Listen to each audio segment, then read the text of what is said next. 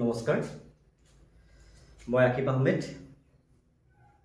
আপোনালোকৰ জনাবলৈ পাই সুখী হৈছোঁ যে আমি এটা নতুন YouTube channel A K discussion নামৰ আপোনালোকলৈ লৈ আহিছোঁ।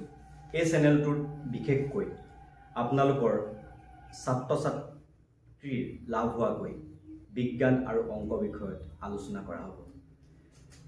মোৰ এই চেনেলটোৰ সৈতে জড়িত থাকিব সপ্তৰক্ষী শইকীয়া দীপাংকৰ ধৰ ৰাহুল শ্বাহ।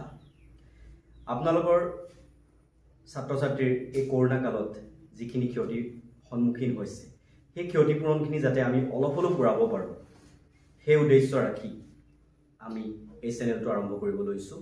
গতিকে আজি এই ইণ্ট্ৰ' ভিডিঅ'টো বনোৱাৰ উদ্দেশ্য এটাই যাতে এই ভিডিঅ'টোৰ জৰিয়তে আপোনালোকক জনাব পাৰোঁ যে আমি এটা নতুন চেনেল ষ্টাৰ্ট কৰিছোঁ। আৰু আপোনালোকে অতি সোনকালে আমাৰ এই চেনেলটোৰ জৰিয়তে ভিডিঅ'সমূহ চাবলৈ পাব আৰু সকলোৱে সহায় সহযোগিতা কৰিব বুলি আশা ৰাখিলোঁ।